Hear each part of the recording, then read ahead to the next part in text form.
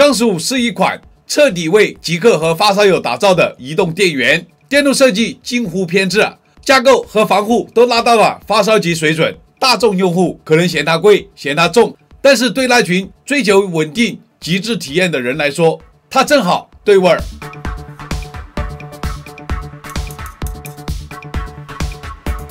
各位朋友，大家好啊！在测试片里，我们已经看到钢十五的硬实力，具体数据我们不在这里重复了。感兴趣的朋友可以在我主页去看完整的测试内容。纸面数据和实际表现只是一方面，真正决定它能不能站在发烧级电源行列的，还是内部的电路和设计用料。电芯怎么管理？协议识别怎么实现？二百八十瓦的功率释放靠的是什么拓扑？文波能压到八十毫伏以内，背后电路里藏着怎样的滤波与补偿？智阳电子向来以硬核电路著称，这次钢十五又会不会延续他们一贯的风格？接下来就让我把它拆开，把电池、主控、电源架构、协议芯片拎出来，看看这台钢十五究竟凭什么撑起前面那些亮眼的数据。这期视频是测试数据之外最值得发烧友期待的部分，彻底拆解电路解析。还是要给大家说一声啊，充电宝拆解有风险，请大家不要模仿。两个橙色的缓震皮圈，专用的内六角螺丝刀才可以把这个螺丝卸下来。这是前面板，同样的方法把后面板也打开，上面有缓震垫子，两颗白色的按钮，硅胶材质的，直接大力从后面可以把这个板子给它推出来。这块是电池模组，主板背后有一片散热硅脂贴，NTC 热敏电阻检测电池的温度。电池组和主板是通过两根硅胶线连接的，屏幕的话就是靠这一个 PCB 把它固定住。这些泡棉都是起到缓震作用的，我们全部把它撕掉。电池是通过这个大型的热缩管把它包住的，咱们直接把它撕掉。这个热缩管用的很厚啊，内部电池上面还有缓震泡棉。然后这个是电池的保护板。充电宝的主板与保护板，咱们已经把它断开了。这个是屏幕组件，背面有一个单独的 PCB。电池保护板，它是通过双面胶粘在这个电池组上面。电池组这一边全部都有轻离子保护。看一下这个点焊的细节吧，一个电池上面密密麻麻的十五个焊点，裂片也是用的加厚的。这些细一点的线都是电池的单体电压检测线。这个电芯的话，我是用的比克四五 D 的全吉尔电芯啊。还有其他的品牌电芯可以供大家选择，六颗电芯组成一个六串电池组，给大家展示一下它的主板，然后我们再来给大家介绍内部的电路及元器件使用的情况。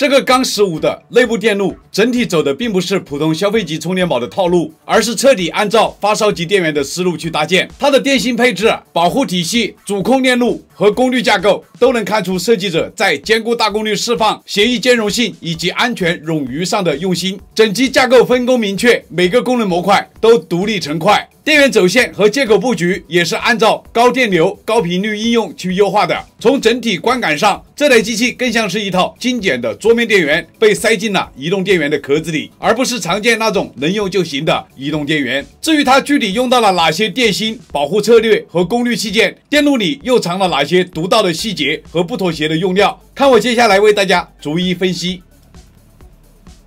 这台设备的核心电源部分，我这一台是采用的深圳比克动力的四五 D 全吉尔二幺七零零动力电芯，一共六颗串联组合。比克动力二零零五年成立，主营锂离子电池与电源系统，长期供应新能源汽车和储能领域。当然，这个钢十五还可以选配其他品牌的高性能电池。电池保护环节配置了广东赛威微电子的 CW 幺二七四保护芯片。赛威二零零九年成立，主打电池管理与保护 IC。这里负责过压、过流等全套保护逻辑，配合四颗西安华谊微电子的 NMOS 开关管 HYG 零幺幺 N 零四，这四个管子是 TFN 五乘六封装，两两并联，作为电池保护的执行部分。华谊微二零一七年成立，主营功率 MOSFET 和 IGBT 器件。此外，电池组还加了四颗四印十二的一次性贴片包线丝，并联作为硬保护。六组电池均衡电路则由四印零幺 B 的电阻、四印四七零的电阻和四印 L 二的 MOS 管组成，用于动态均衡单体电压，避免电芯之间出现失衡。最后，三颗 R 零零五采样电阻分布在主板上，用于电流检测与电池保护反馈。整体设计思路是保护环节层层叠加，从 IC 到 MOS，再到保险丝，再到均衡，确保这套动力电芯安全释放出全部的性能。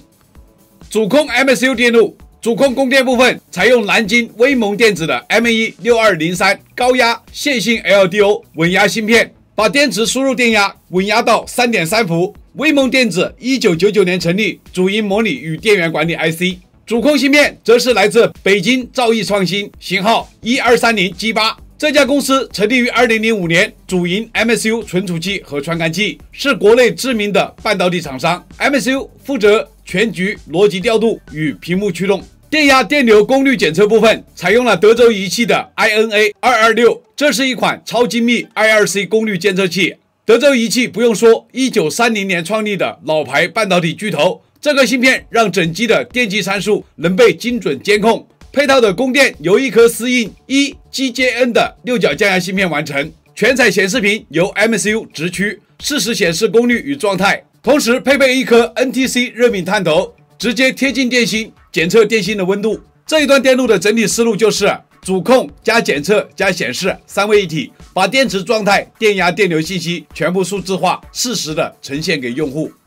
第一组 C 口加 DC 口双向电路协议控制由深圳英吉星科技的 IP 二三六六完成。英吉星二零一四年成立，是国内知名的快充协议厂商。这颗芯片可支持 C 口最高双向一百四十瓦，控制电路用的是全桥方式升降压结构。DC 口设定的功率是一百二十瓦，功率部分使用了四颗西安华谊微电子的 HYG 零四零 N 零四 NMOS，这种 NMOS 也是 DFN 五乘六封装，驱动全桥拓扑，配合一颗大功率扁平铜带电感，用于能量存储与转换。升压电路两端的电流采样依然是用的 R 零零五，这里一颗，这个地方有一颗。这组电路的滤波设置可以说是非常有个性啊。电池端二百二十微法三十五伏的固态电容。加两颗 MLCC，输出端则是用了两颗三十五伏二百二十微法的固态电容，加五颗 MLCC。这些 MLCC 可不是普通的零八零五幺二零六的型号啊，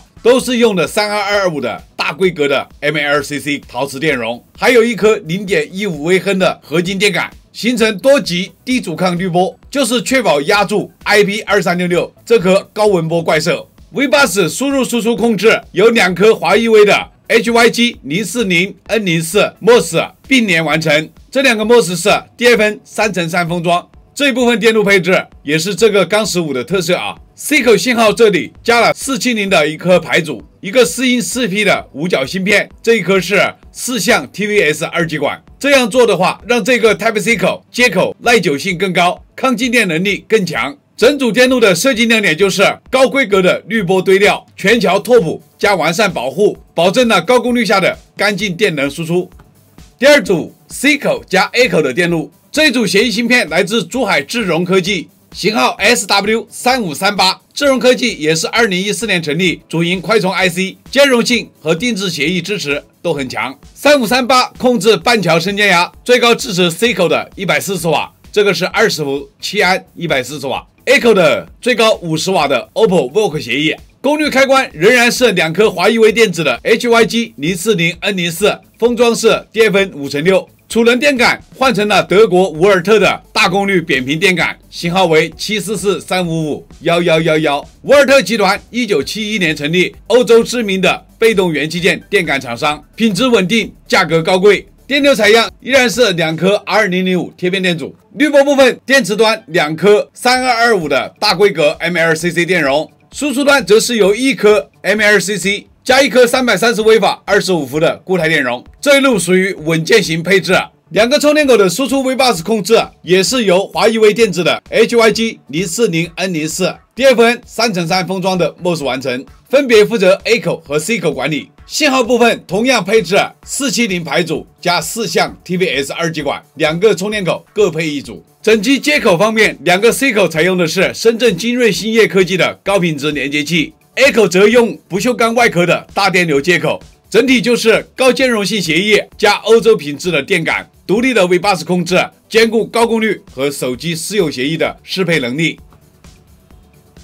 这一台钢十五内部的电路完全不是那种能用就行的消费级充电宝思路啊，而是彻底按照发烧级电源的逻辑去堆出来的，优点和缺点都写在电路里。先说优点部分，第一，协议兼容性几乎没有短板，实测表现大家已经看到。除了小米私有协议以外，华为的二十二点五瓦，荣耀和 vivo 的百瓦 PPS，OPPO 的六十五瓦私有协议，PD 三点一大功率笔电，全部都能精准握手。能做到这一点，背后就是双协议架构，IP 二三六六全桥和 SW 三五三八半桥，分工明确，稳定驱动。第二就是电能质量干净，几乎是照着桌面电源的规格在上吊，三二二五大规格的 MLCC 固态电容，合金电感。再加上伍尔特的大功率扁平铜带电感，结果就是大功率放电下来，纹波控制在八十毫伏以内，干净利落，不拖泥带水。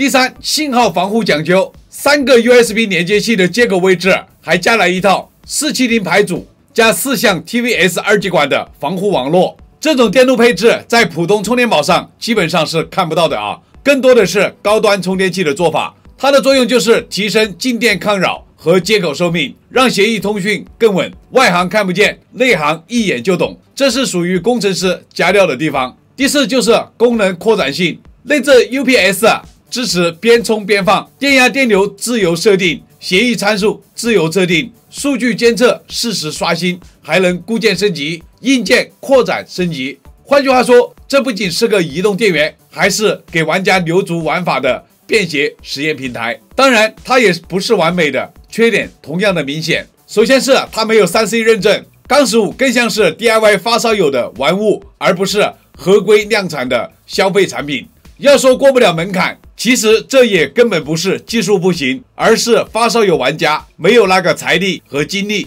去跑认证流程。第二就是电路成本高，沃尔特的电感、高规格的 MLCC 陶瓷电容、全套保护网络，这些高端元器件一股脑堆上去。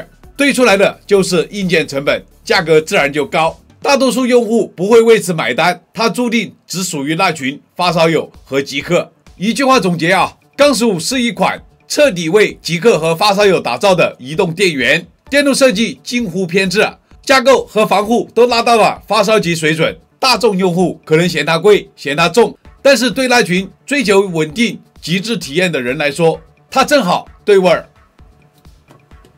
最后，咱们来总结一下，钢十五这台移动电源确实配得上“发烧级”三个字啊！在前面的测试环节，这个充电宝在合规的情况下，它把协议兼容做到了极致。华为、荣耀、vivo、OPPO PD 三点一几乎全覆盖，高功率输出稳定，纹波压得干干净净，UPS 功能也做到了实用级别。拆解环节一看，里面的电路架构、滤波对料、信号防护全对得上它的表现，而且现在。这个钢十五还出了最新的 DLC，大家还可以把它升级。升级以后，它的双口自充功能也是有了。你会发现，这并不是一块能用就行的充电宝，而是一个把桌面电源硬塞进移动外壳的怪兽。当然，它的短板也摆在那儿，它是 DIY 发烧友产品，没有三 C 认证，从合规角度讲，没有办法走入大众的消费市场。第二就是这么多的高端元件堆上去，成本高企，价格注定不低，对大多数人来说，性价比。并不是很友好。那么这个充电宝适合哪些人？如果你只是想买个轻便随身的充电宝，能给手机补电，这个钢十五绝对不是你合适的选择。它体积大，重量重，价格高，用不到它性能就是浪费。如果你是深度的快充玩家，手里的设备种类繁多，笔电、手机、NAS、小工控都想接一块电池来跑；或者你是 DIY 爱好者，喜欢调协议、刷数据、玩参数；或者你是重视稳定和电能质量的发烧友，那么这个钢十五就是为你准备的那一盘菜。它不是大众的充电宝，而是极客的随身电源。买它之前想清楚，你是要一块电池，还是要一台移动的桌面电源？测是为了了解，猜是为了真相，认真车载，客观输出。我是离火车载，非常感谢各位老铁们一直以来的鼓励和支持，有你们的陪伴，才有我一直拆下去的动力。这期视频谢谢大家观看，咱们下期视频再见。